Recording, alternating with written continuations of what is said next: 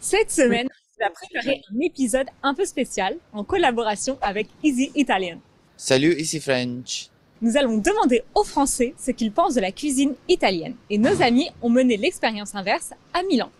Donc, si vous voulez savoir ce que les Italiens pensent de la cuisine française, allez voir sur leur chaîne. Et nous, on va aller interroger les Français dans la rue. Andiamo Est-ce que vous connaissez la cuisine italienne? Pas vraiment bien. Vous connaissez bien la cuisine française ou pas? Non plus. Est-ce que vous connaissez la cuisine italienne Un petit peu, oui. Ouais. Je suis pas un spécialiste, mais euh, ma mère euh, est italienne, donc elle faisait quelques petits plats. Elle faisait des lasagnes, elle faisait des trucs comme ça quand on était gamin, donc euh, des petites connaissances. Est-ce que vous connaissez un peu la cuisine italienne? Un tout petit peu. Les pâtes carbonara, les pizzas, euh, les tomates séchées, euh, le basilic, voilà, le parmesan, le pecorino. C'est à peu près tout. Est-ce que vous connaissez la cuisine italienne? Un petit peu, oui. Qu'est-ce que vous avez déjà goûté? Qu'est-ce Bah, que j'ai vous aimez? pizzeria, donc euh, oui. Vous faites quoi comme pizza? Quelles sont vos spécialités? Bon, j'ai pas vraiment de spécialité, après, c'est vraiment la saison.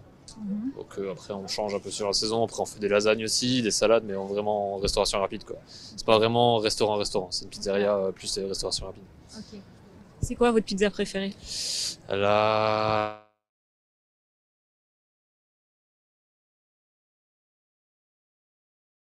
Et vous aimez bien ça? Oui, j'aime bien. Je veux dire, c'est une cuisine simple. Moi, je veux dire, il n'y a rien à ne pas aimer. Qu'est-ce que vous avez goûté comme plat? Bah, tout ce qui est classique, les pâtes, euh, pizza, lasagne, gnocchi. Voilà. Et les glaces. Et quel est votre plat italien préféré parmi ceux-là? Et gnocchi. Décidément gnocchi. Il Euh, y a quoi? Bah, La pizza, les pâtes, euh, tout ça quoi? Autre chose peut-être? Parce qu'on nous parle beaucoup de la pizza et des pâtes. euh, C'est ce qui est le plus. euh, Qu'est-ce qu'il y a d'autre? Euh, Les lasagnes. C'est les des pâtes? Arancini. les arancini. Euh, Alors qu'est-ce qu'il y a d'autre? Bah non, je crois que je connais pas plus que ça. Quelque chose à base de riz peut-être? Ah, les risottos, c'est ça? Risotto à la truffe. enfin ouais, ouais, j'aime bien aussi. Est-ce que vous pensez que les Français aiment la cuisine italienne plus que la cuisine française? Ouh, je sais pas, mais je sais qu'il y a beaucoup de restaurants italiens à Paris et qui sont très appréciés, je passe dans la restauration. Après, j'en sais rien. Conosco po- pochissimi piatti francesi, scusate. Eh, ho mangiato la tartiflette grazie al nostro amico Sed che ce l'ha cucinata un paio di volte, ma poi ha smesso, quindi ti chiedo pubblicamente di continuare, di ricominciare a cucinare per noi. Ehm, E, poi il patè sì, l'ho assaggiato, non sono super eh, fan del patè. Non, po- non posso dire che è meglio la cucina francese, mi dispiace, proprio non posso. Et euh, pour le fromage et le vin, vous avez déjà goûté le fromage et vin italien? Alors euh, vin, je pense au Chianti peut-être. Fromage, je suis pas très fromage, c'est pas très, c'est pas très français ça, mais du coup j'en mange pas beaucoup, Euh, donc je pourrais pas vous dire à part la mozza. Euh, mais sur les vins, ouais, je pense au, au Chianti, mais je j'en ai pas comme ça d'autres en tête qui me viennent, euh, qui me viennent. Le prosecco peut-être si. le prosecco, ouais, ouais, le prosecco. Et euh, est-ce que vous connaissez aussi les vins, les fromages italiens? Ah ouais, un peu. Euh, le Lambrusco, le Provolone, le Pecorino. Euh, je sais pas, il y en a plein quoi. Et Vous préférez plutôt les fromages français ou italiens? Ben moi j'ai découvert, euh, si vous voulez une petite histoire, euh, le provolone au Brésil. Et je croyais que c'était brésilien. et après une fois j'étais dans un resto italien, je dis ah vous faites du fromage brésilien. Et le mec m'a dit mais ça va pas, c'est italien et tout. euh, C'était rigolo. Et du coup j'adore le provolone, donc ouais je préfère le fromage italien. Et quand vous mangez italien, vous mangez au resto plutôt ou vous faites parfois chez vous? Plutôt resto. Plutôt resto, à la maison un peu, mais plutôt resto. J'aime bien me faire servir. Ah, les repas français, ces moments de convivialité qu'on adore partager pour papoter des heures durant autour de bons petits plats.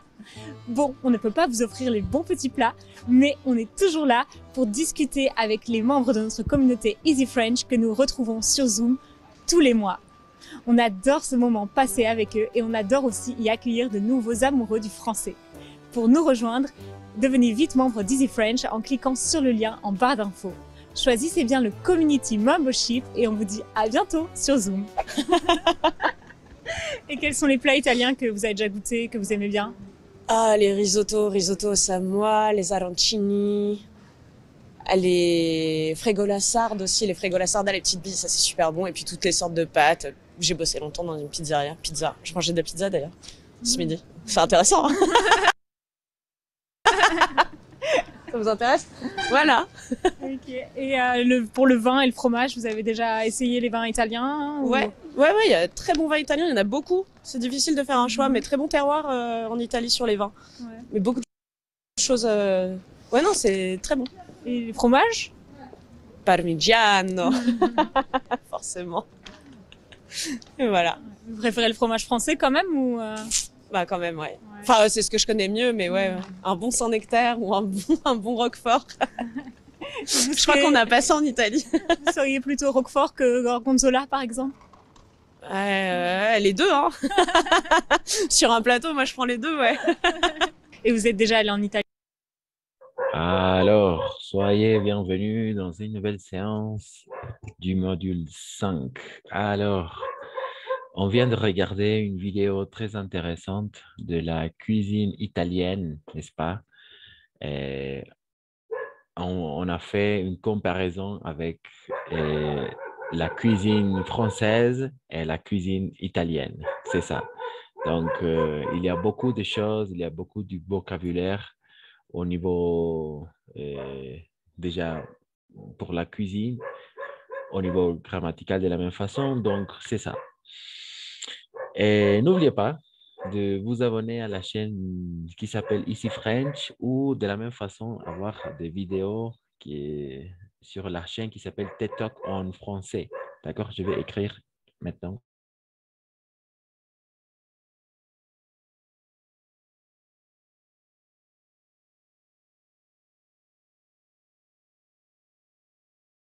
Voilà, c'est comme ça. TED TED Talk en français.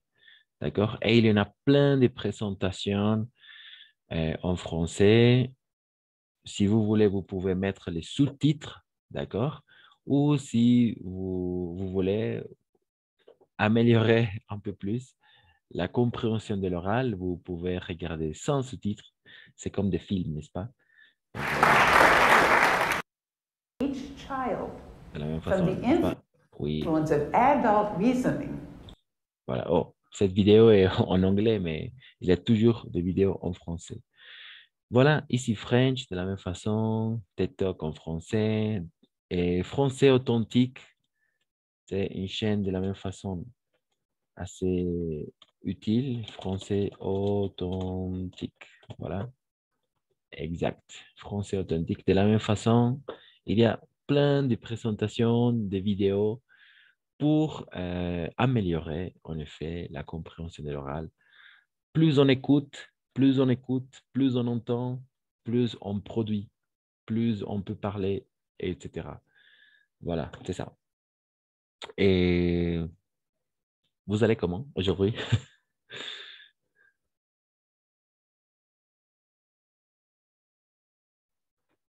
Bonsoir, Dani, Karine, Camila, Karina, Erika. Bonsoir, Christian. Bonsoir. Bonsoir. Bonsoir, une fois encore. Et Karina, Erika, Camille. Parfait. Hmm, Dani. Très bien. Et euh, BCP. Qui est BCP? Qui est derrière? Je suis BCP. Bernardo. Bernardo, Bernardo, n'est-ce pas? Bernardo, très bien. Alors, excellent. Alors, j'ai déjà aussi partagé les diaporamas euh, sur le groupe de WhatsApp du subjonctif et du et, et des démonstratifs, d'accord? Les pronoms démonstratifs, les adjectifs démonstratifs de la même façon. Et, aujourd'hui, on va travailler une vidéo assez importante, assez sympathique, mais à la fois assez triste. Et donc, avant de commencer à, regarder la vidéo, on va faire un petit rappel de tout le temps qu'on a déjà regardé jusqu'au présent, jusqu'à aujourd'hui. D'accord? Quels sont les temps D'accord, je vais maintenant partager l'écran parce qu'après, on va travailler la vidéo. Mais avant de, passer à la vidéo, parce que c'est une histoire triste, avant de passer à, regarder la vidéo, alors on va faire un petit rappel des conjugaisons. D'accord? Voilà. Quel temps, quels sont les temps qu'on a déjà, on a déjà regardé jusqu'aujourd'hui? Et Alors, la question, la question d'aujourd'hui est quel temps du passé de l'indicatif connaissez-vous? Quel temps verbaux? Vous vous Passé composé. Excellent, Dani. Très bien. Parfait. C'est le passé composé. Parfait. On va regarder le passé composé, bien sûr. Quel... Le passé composé. Voilà, merci. Très bien.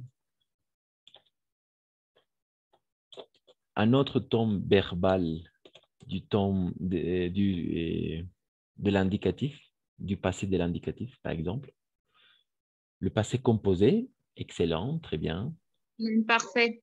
L'imparfait, très bien. L'imparfait, excellent. Excellent, très bien. Quoi d'autre? On a déjà le passé composé, l'imparfait. On va regarder un peu plus en détail au-delà. On va s'intéresser à voir, à regarder chaque tombe verbal hmm, très rapidement, d'accord? Le passé composé, l'imparfait. Il n'y a que deux. Il n'y a que deux temps verbaux du passé.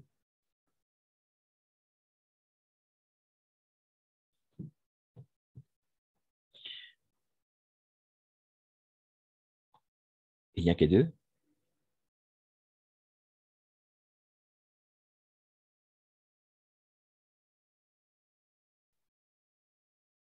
Il n'y a que deux tomes verbaux au passé.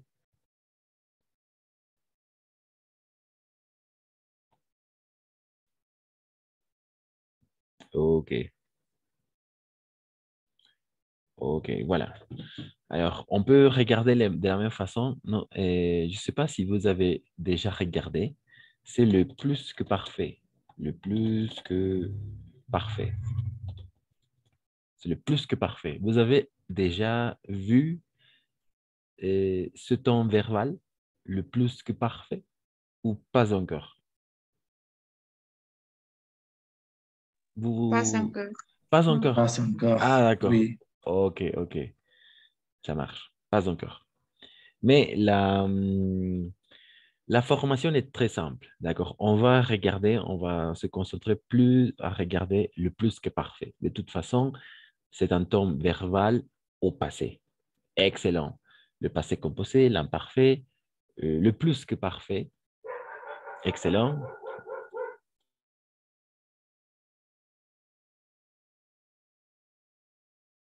Il n'y a, que, il, a que trois temps verbaux au passé.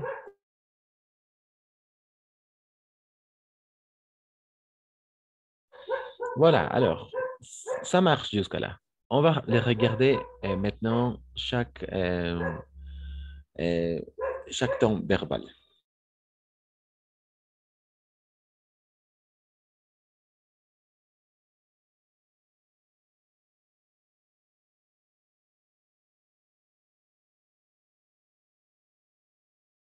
Voilà, on va commencer avec l'imparfait.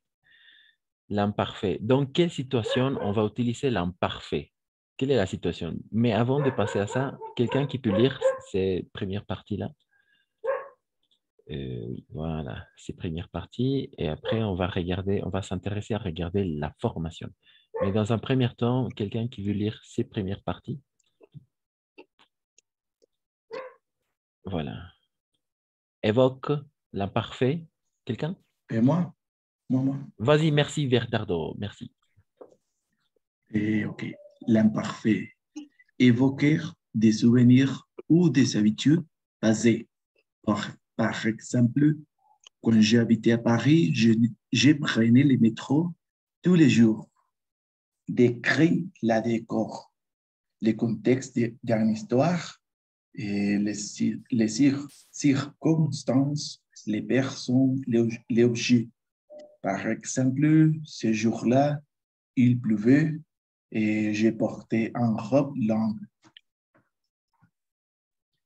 Excellent, très bien. Merci pour la lecture, Bernardo. En effet, tu as bien euh, lu cette première partie. Excellent. L'imparfait. Surtout, on va utiliser l'imparfait pour évoquer des, des- souvenirs. En effet, évoquer des souvenirs et des habitudes passées. En effet.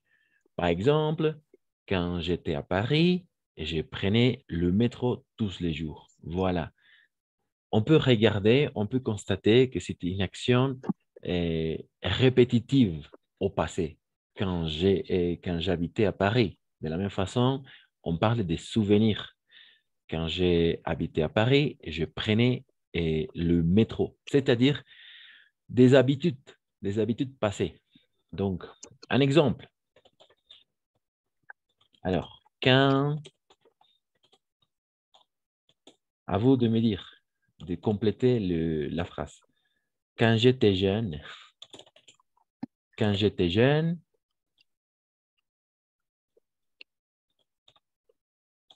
par exemple, j'allais à la piscine. Quand j'étais jeune, j'allais à la piscine. D'accord? Voilà, de la même façon, des souvenirs et des habitudes. J'allais à la piscine, c'est-à-dire que j'allais presque tous les jours ou avec fréquence euh, des habitudes passées, n'est-ce pas? Donc, quelqu'un qui peut compléter la phrase, euh, quand j'étais jeune, à l'imparfait, en effet.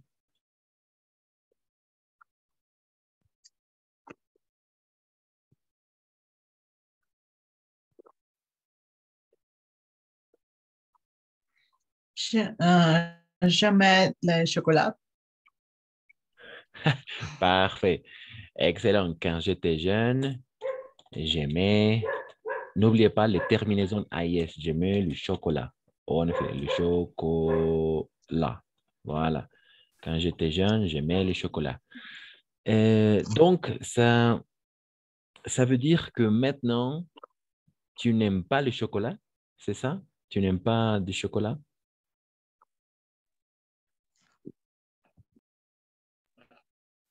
Non, j'aime. Ah, d'accord, oui. J'aime le chocolat. Oui, en effet. Mais euh, ça, ça peut fonctionner, mais il y a des, des habitudes, en effet, des habitudes que tu faisais quand tu étais jeune, par exemple, c'est ça.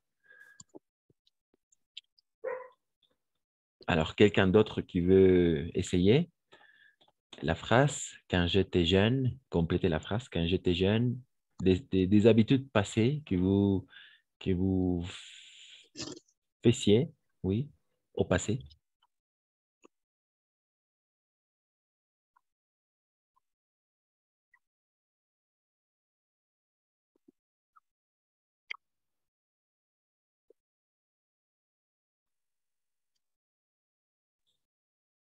Et quelqu'un, Bernardo, Tatiana, Denise, Briani, peut-être? Hmm, Quand j'étais jeune, jeune et je pouvais courir beaucoup. Exact, très bien. Parfait. Ça veut dire que maintenant, il est très difficile pour toi de courir, n'est-ce pas? Je pouvais, je pouvais courir, courir euh, mieux, mieux, n'est-ce pas? Et beaucoup? Ah, beaucoup, ça marche. Excellent. Parfait, parfait, pardon. Beaucoup. Je pourrais courir beaucoup. Voilà, c'est ça. Des souvenirs, des actions passées, n'est-ce pas? En effet, que maintenant, il est un peu difficile de le faire jusqu'au jusqu'au présent, jusqu'au aujourd'hui. Voilà, c'est ça. Des souvenirs, des, des- des habitudes passées. Et répétitives, attention. Le, le- le mot-clé est des actions répétitives. C'est pourquoi que je disais, quand j'étais jeune, par exemple, quand j'étais jeune, euh, j'ai mangé, hum, j'ai mangé, oui, euh, j'ai mangé, j'ai mangé de la soupe tous les jours, par exemple, tous les jours. Tous les jours, ça veut dire c'est une action, c'était une action répétitive au passé, d'accord? Ou euh, quand j'étais jeune, j'allais, j'allais à l'école. J'allais à, oh, j'allais à l'école, n'est-ce pas? J'allais à l'école. Parce que maintenant, euh, je ne vais pas à l'école, n'est-ce pas? Mais quand j'étais jeune, j'allais à l'école et c'était une action répétitive au passé. Voilà, c'est ça, des souvenirs de la même façon.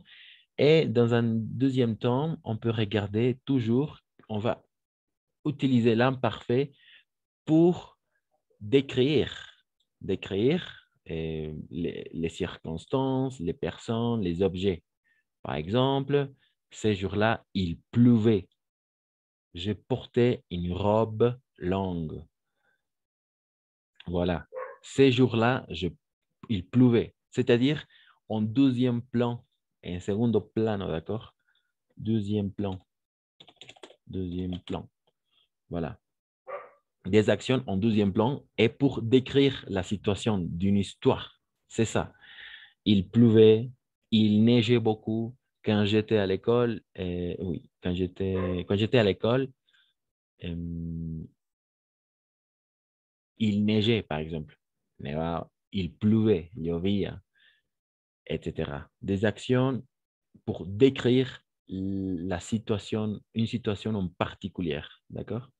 Voilà, c'est ça. Les trois emplois de l'imparfait. Et la formation, c'est très simple. On va utiliser le radical de la première pré- personne au pluriel du présent et on va tout simplement ajouter les terminaisons suivantes. Quelles sont les terminaisons de l'imparfait? AIS, AIS, AIT, INS, IEZ, INT. Au niveau de la prononciation, on va toujours prononcer E. D'accord? Tout simplement E.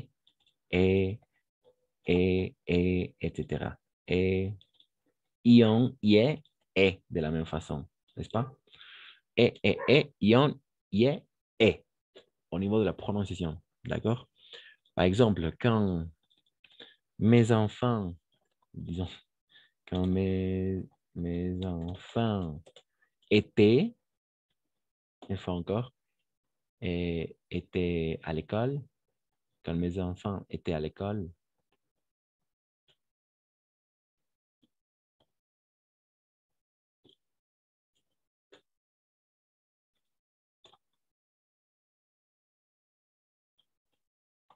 hum, allez, quand mes enfants allaient à l'école, il pleuvait tout le temps. Il pleuvait tout el temps, ¿d'accord? Cuando iban al colegio, cuando mis niños iban al colegio, llovía eh, todo el tiempo. Il pleuvait tout le temps, d'accord? Aller, mais aller avec INT, mais on, toujours, on va prononcer et, tout simplement, d'accord? Les terminaisons. Voilà, c'est ça. Jusqu'à il il y a des questions avec l'imparfait, l'emploi de l'imparfait, avec des- évoquer des souvenirs ou des habitudes passées, décrire une situation ou une personne, une, une circonstance de la même façon. Et, euh, voilà. Il y a des questions? Il n'y a pas de questions? Jusqu'à là Ça marche? Qu'est-ce que vous dites? Ça marche? Et... Ça marche. Parfait. Excellent. Merci, Bernardo. Après, je vous passerai et je vais vous envoyer les, les diaporamas. Excellent, avec l'imparfait. Le deuxième temps verbal très important, c'est le passé composé, comme vous avez bien dit. Alors, de la même façon, quelqu'un qui peut lire cette première partie. Et après, on va se concentrer avec la formation. Quelqu'un?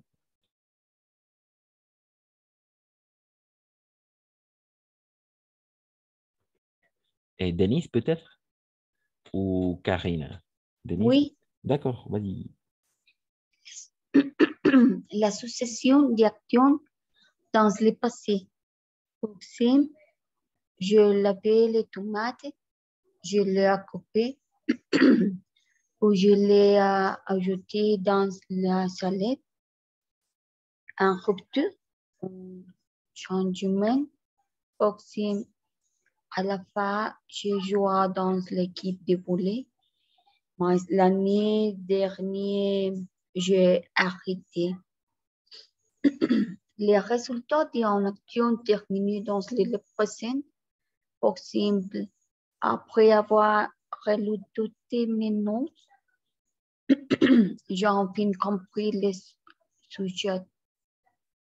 L'intériorité d'une action par rapport, par rapport à une autre action. Par exemple, c'est ce je déjeune dans le restaurant que tu m'as recommandé. Les actions avaient en date, un moment ou une durée déterminée. Par exemple, j'ai attendu mon bus euh, 20 minutes. Il n'est jamais arrivé. Voilà. Jusqu'à là, merci Denise. Très bien pour la lecture. En effet, le passé composé avec le passé composé, on va avoir ces euh, cinq emplois, d'accord? Ces cinq emplois du passé composé. Quels sont ces cinq emplois? En effet, pour, dans un premier tome, pour euh, décrire une succession, d'accord? Une succession des, des événements, d'accord? Voilà, excellent une succession des actions, n'est-ce pas, dans le passé. Alors, une succession, la succession, c'est-à-dire, dans un premier tome, j'ai fait ça, après, j'ai fait ça, après, j'ai fait ça. Mais tout ce contexte au passé, d'accord? Par exemple, euh, dans le quotidien, je me suis levé, je me suis brossé les dents, et j'ai pris mon petit déjeuner. Après, euh, je suis allé à la fac. Ensuite, je me, je me suis retrouvé avec mes amis. Enfin, je suis rentré chez moi. Et pour conclure, euh, je me suis connecté pour les cours de français, pour mes cours de français. Et à la fin, avant de dormir, euh, je me suis douché. Voilà. Et pour conclure, euh, j'ai dormi. Voilà, la succession des actions, d'accord, au passé. Voilà, la succession des actions dans le passé. La rupture est un changement de la même façon. Par exemple, à la fac, j'ai joué dans l'équipe de volley, mais l'année dernière, j'ai arrêté. Voilà, j'ai arrêté, c'est-à-dire une rupture. Le passé composé est brusque. Alors, est, est- est une action qui se passe dans un temps euh, courte, d'accord? Dans un temps court. C'est ça. Et c'est pour ça une rupture dans la ligne du temps, d'accord? Euh, l'action se déroule très bien, mais soudain, il y a une action qui interrompt ou fait une rupture au passé, bien sûr. Voilà, c'est ça, une rupture, un changement. Après, le résultat d'une action terminée dans le passé, en effet. Par exemple, après avoir relu toutes mes notes, j'ai enfin compris le sujet. Le résultat, n'est-ce pas? J'ai enfin compris le sujet pour décrire le résultat d'une action terminée dans le présent. Voilà.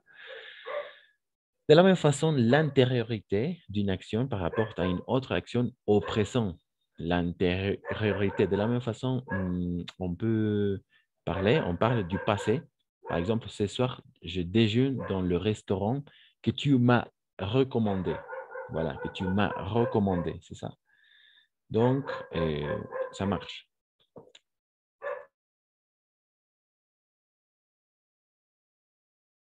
Ap- Après, les actions avec une date ou un moment ou une durée déterminée. En effet, à chaque fois qu'on va regarder le temps précis, une date précise, un moment précis, toujours on va utiliser euh, le passé composé. D'accord? Exemple, j'ai attendu mon bus 20 minutes. En effet, il n'est pas jamais arrivé. Voilà. De la même façon, par exemple, en 2005, et en 2005, j'ai fini, j'ai fini l'école, j'ai fini le collège, disons, le collège, disons. En 2010, en 2010,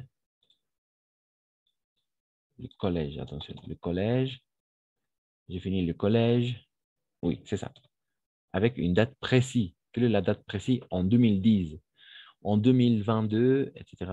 euh, en 2022, en 2022, je me suis euh, retrouvé avec ma famille. Voilà. Toujours, on parle d'une date précise, au passé, bien sûr. Ou on, peut faire de la même façon ici. On met, on met du 2022, en mayo del 2022, on met du 2022 de la même façon. Une date précise. C'est ça. Et jusqu'à là, je, euh, pense qu'il n'y a pas de questions. Et tout simplement, on va dire avec la formation, n'oubliez pas, avec l'auxiliaire avoir, n'est-ce pas, l'auxiliaire avoir, l'auxiliaire être, avec le verbe du mouvement et avec le verbe pronominaux, et avec, oui, les 14 verbes du mouvement et tous les verbes pronominaux, d'accord? On va faire l'accord en gendre et en nombre, n'oubliez pas, avec le verbe être.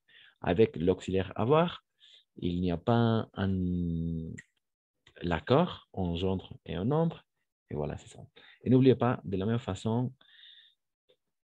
les trois éléments très importants au moment de conjuguer le passé composé, le sujet, l'auxiliaire, soit être ou avoir, plus le participe passé. D'accord? Participe passé. Voilà, sujet plus auxiliaire, soit être ou avoir, plus le participe passé. C'est ça. Avoir ou être. Et, et, ça dépend. Si on va faire avec l'auxiliaire être, alors on doit faire l'accord en gendre et en nombre, en género et en numéro. Voilà, c'est ça. Se conjugue euh, l'astérisque ici, ici, avec l'astérisque. Euh, la formation, le passé composé se conjugue avec être. Tous les verbes pronominaux, les verbes expriment un changement d'état, n'est-ce pas? Aller, sortir, partir, venir, descendre, mourir, naître et rester. Et c'est euh, leur dérivation. Par exemple, sortir, euh, venir, n'est-ce pas? Venir, ça fait partie de la maison du verbe être. Mais de la même façon, revenir, d'accord? De la même façon, entrer, entrer et rentrer. N'est-ce pas? Rentrer. Quels sont les participes passés de chaque, pour chaque verbe? Quelqu'un? Du verbe venir, quel est le participe passé du verbe venir? Participe passé du verbe revenir, quelqu'un? Venu. Venu. Venu, exactement. Revenir Revenu. Exact. Revenu. C'est ça. Revenu. euh, pardon. Revenu. En effet. Entrer. Entrer. Entrer, entrer de la même façon. Euh, voilà. Mm. Entrer. Et n'oubliez pas euh, l'accord, n'est-ce pas? Ça dépend. Oui, ça dépend.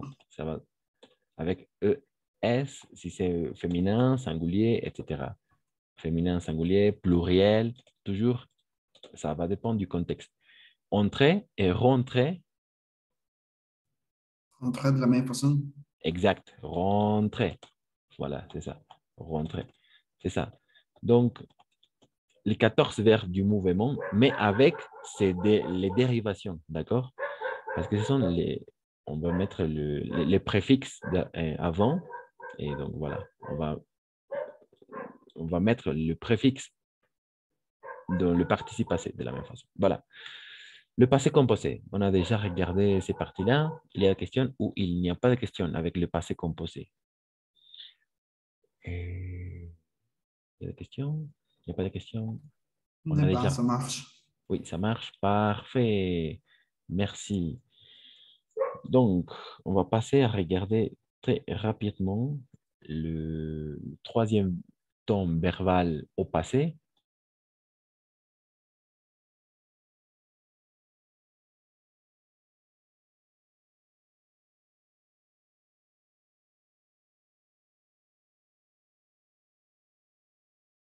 Voilà le passé simple. Est-ce que vous avez déjà vu le passé simple ou pas encore? Le passé simple? Passé simple?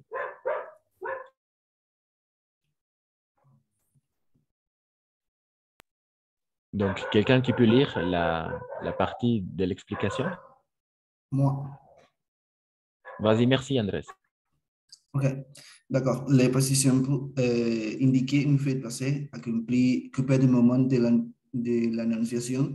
Il est employé principalement à l'écrit, dans la littérature euh, ou dans la presse, par exemple. Les soldats sur leur, les soldats sur le général et et les ordres. Voilà, excellent, très bien Andrés. Très bien pour la lecture. En effet, on va toujours, il n'y a qu'un emploi avec le passé simple. Et euh, dans la littérature, dans l'histoire, dans les contes anciens, dans la presse, en effet, mais jamais, jamais on utilise le passé, co- le passé simple à l'oral. Jamais, d'accord? On n'utilise jamais le passé simple à l'oral, toujours à l'écrit, toujours avec la littérature, dans la littérature, dans la presse, dans les histoires, dans les contes, et la presse, etc. Toujours avec euh, le passé simple. Mais de la même façon, ça peut fonctionner avec le passé composé. Mais en général, on utilise hum, le passé simple dans la littérature et des contes. Voilà. Et jamais, une fois encore, jamais à l'oral. Sa formation est un peu bizarre, oui. Je pense que euh, ça ne sert à rien à regarder sa formation. Tout simplement, il faut identifier, d'accord? Et voilà, c'est ça. Parce que à l'oral, personne utilise le passé simple. Personne. Tout le monde utilise le passé simple à l'écrit. Voilà. Au lieu d'utiliser le passé simple, en effet, on va, à l'oral, on va faire, on va utiliser le passé composé, toujours dans le français parlé, n'est-ce pas? C'est ça. Et dans le français écrit, le passé composé est le passé simple. Oui, en effet, on peut l'utiliser. Mais toujours dans la littérature, la presse, dans les contes, dans l'histoire, euh, dans la presse, etc. Voilà. Le passé simple. Il y a des questions jusqu'à là ou il n'y a pas de questions?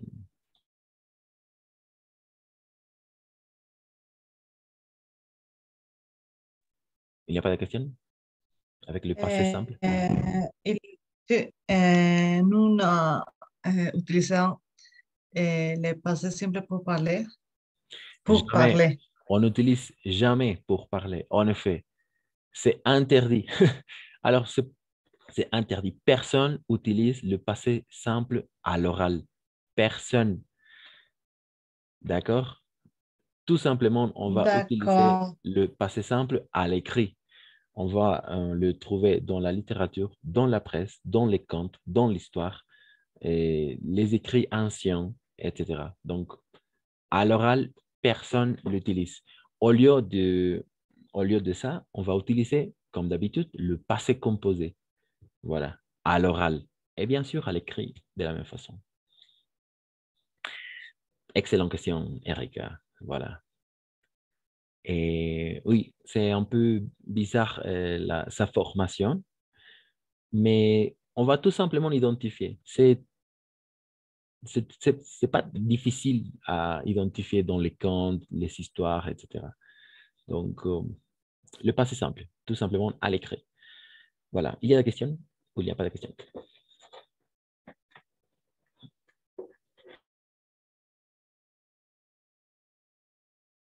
Il n'y a pas de questions, n'est-ce pas Il n'y a pas de questions Il n'y a pas de questions. Parfait, Tatiana. Merci tout le monde. Alors, malheureusement, on a déjà regardé trois temps verbaux, l'imparfait, le passé composé et le passé simple, en effet. Maintenant, on va continuer à regarder le dernier temps verbal, très important du passé.